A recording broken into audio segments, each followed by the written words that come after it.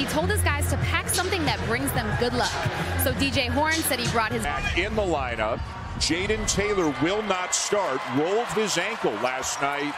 They are hoping that he Davis and Morsell is that considerably bigger than Davis. Cadeau into the paint forces it up. No. Burns. They put the double on, then took it off quickly just to stop the back down. Turnaround by Horne will drop through. That's why they are still here. Harrison Ingram with that tap out on the offensive rebound. I thought Elliot Cadeau had a chance to get it, but he Carolina in the last game between these two teams. Both he and DJ. Well, obviously, they would love to have the services of Taylor, but if they don't, they'll have to go a little bit. Has had two very good games against North Carolina State, and his penetration is excellent. Right on cue. I'm rounding up. You're so generous. O'Connell open. Knocks down a three. Tournament than he made the last 17 games combined. Davis got caught on Burns. Bacot over to help. Side out. That's their game. Which is what State's doing now with Burns. No double here. Big fellas going at it. And remember, NC State got out to a huge lead playing against North Carolina the last time. And then Carolina minutes per game. Middlebrook's about 19. And I thought, Jay, that Middlebrook steals in that game against the Cavaliers and he made some real boy these are two guys who they don't shy away from the physical part of the game. The kick to Horne, it's short and Bacot the a great job by NC State to get back and thwart that break. Diarra for three. Yes! And Davis the kick. Withers the drive. Off balance it'll go. Down there not. They're trying to get down the floor and get something early Morsell went flying, and then O'Connell ahead to Diarra. Hey, don't hang on it that long afterwards, but I like the fact they didn't call it technical.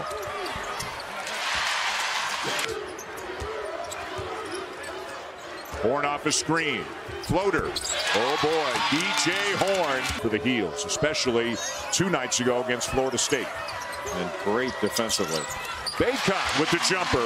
Get a touch. He can hit it, and he does. Ingram draws the double. Ingram gets it back and hits the three. Tennessee got run. Duke got run in this event by NC State. So here Carolina, the one seed. They had a magnificent and then beat a very game and determined group of Pitt Panthers 72-65 in the semis. They sat him out. They were playing Louisville. They were able to win without him. So for him, just his fourth and fourth four days. Jayden's threw it right over Armando Bacot. Jay, how about four assists? And we know he's a great passer. How about four assists already for Burns? But he couldn't keep like the first half at North Carolina between these two teams where DJ Horne got off to such a quick start. That one rattles.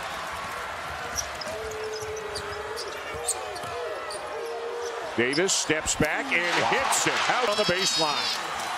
Well, when Casey Morsell plays aggressively, NC State's a different team. Cadeau and Nguyen. Horne left it short. Davis. Another three. Hits again. Tipped out by Cadeau. Davis driving on Diarra and will head to the free throw line. Soap has been exemplary on and off the floor. And four guards around DJ Burns right now for State. Boy, Burns looked for multiple threes. That's where the problem comes in. Davis, another step back three. Not this time. Burns go in the first half. Horne, another floater wow. and another basket. Bacot to step up there. He kept retreating toward the basket. Bacot walks into a jumper and ties the game. As he was coming by to reach in. Shot clock running down. Taylor slips. Burns for three.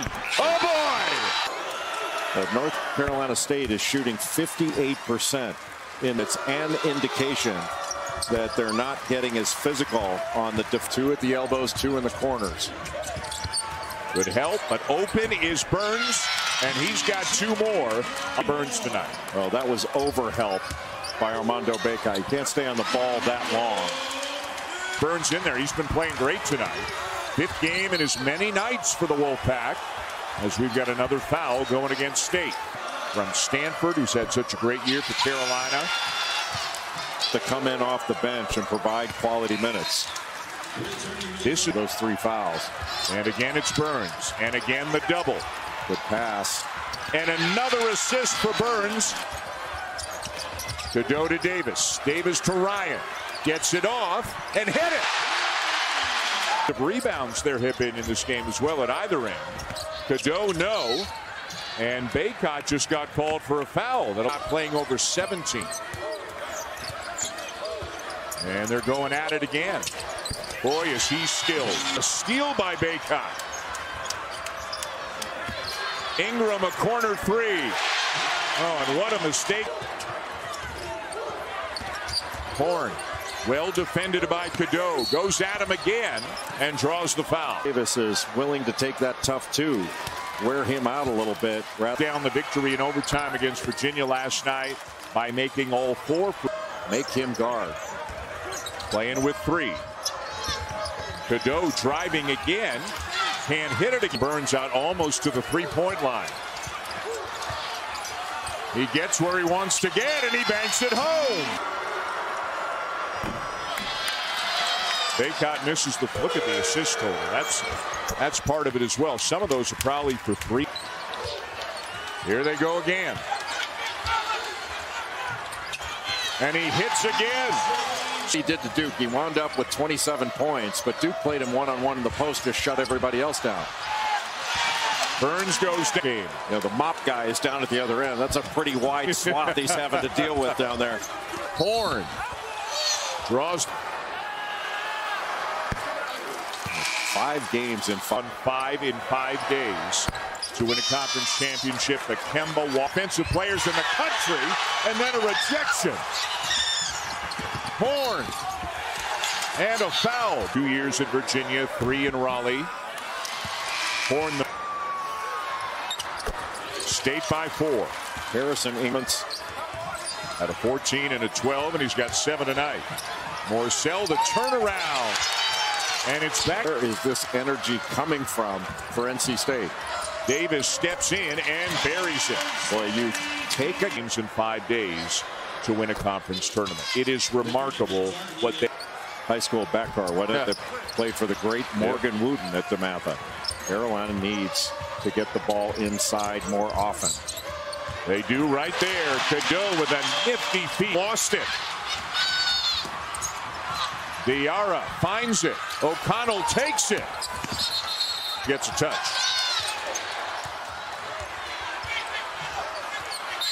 A foul on Bacot. His matchup they have for DJ Burns. You're not going to put Jalen Washington on him. It's an automatic double, right? You have to. Well, if you double, then you put yourself in a position middle. Bacot's got those three fouls. Burns up and in. Does it? This the rebound for the Tar Heels. Back from Cadeau. And Davis lays it in at this time. Bacot did a great job not letting them get too close to the bucket. Davis draws the foul.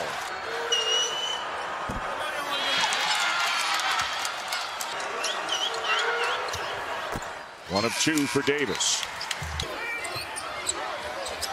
O'Connell Pulls up and hits. Wow. RJ 10 seed with a five point lead on the top seed in Carolina. Horne short. Out of bounds on the way by and said, don't go too far. Sit in that first seat. If we get the ball back, you're going back in. And they got the ball back. Five out. Horne sizing up Ryan. And hits wow. it. What Carolina needs to put him in some action. Go right at DJ Horne. Davis from the corner with the answer. It's a long crossover. Floater. Yes. And a great bounce pass, but Diarra missed the reverse. Got it back and puts it in. 21 points tonight for State. Takes a bump and hits. Game with a bad ankle. Horne's in the game with four fouls. Let him back him down. Taylor on Davis. Now Ingram is doing that. There's the help from Diarra to swat it at this level now. They lost their last four coming into the tournament. What really difficult schedule in a very short time frame. But they're and then that big upset at Duke. And then Virginia in overtime last night. Another teardrop here, DJ. Horne wanted to take Ingram, but instead it's into Burns. He's doubled. There goes the double. There's the open three. And Morsell hit. And Horne is going to slow it down. Morsell, not this time. Hey man, I got hit in the head there. Does that not count? Nearing the four-minute mark. Horne is fouled. Being told it's a groin issue for Casey Morsell. Made them both. And it's back to a 10. And Dan, you have to think that a full team, DJ Burns, that has not worked out particularly well, but I think they have to. Is he going to back him down from that far out? Good pass into Horne, who lays it in. Briefly here in the second half, and now State's up 11, but a steal by Davis to get it down to nine. Under three to go. Davis, the pull-up. And a battle for the ball between Davis and Morsell, and it's on the possession arrow.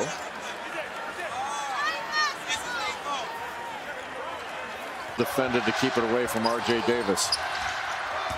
Bacot's going to drive it, and he is fouled by Middlebrooks.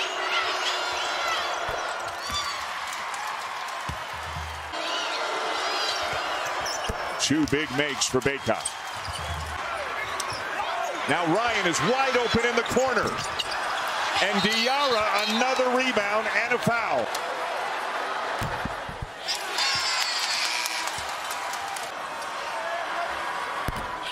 Two huge makes for Mohamed Diarra found away. Miracle Mike found yeah, the way. That's right. The guy at the free throw line. Three for Ryan. Beat Duke 74-69 in the quarterfinals. Right now, it's about inbounding the ball cleanly. His 82nd game. He's never started a game. Generally, he plays a hand. And they just keep making their free throws. Well, that's one of them's right here at the foul line. Diarra's been huge. You could give it to home coach. They came in this week really talking about wanting a Destiny's Darlings type of thing. And well, you don't want to foul there. Pass called. That's his set. Still a nine-point game. Now Cadeau. Now Ingram for three. Middlebrooks swats it out of bounds. They've got a guy who hit his first three of the season tonight, and they got a guy who scored. All. We've had real rounding issues this week, America, with the NCAA tournament. There would be no at large. And Kevin Keatts, historic. Carl. they have had an unbelievable week. Ingram for three. For the North Carolina State Wolfpack, and let the celebration begin in Raleigh.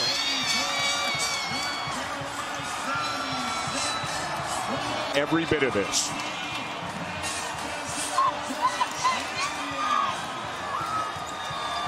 Guy contributed in a different way, and it was enough to take home a trophy. The combination of it will ever forget. Just extraordinary. Yep. DJ Burns said it a couple of nights ago. Quote, we're not ready.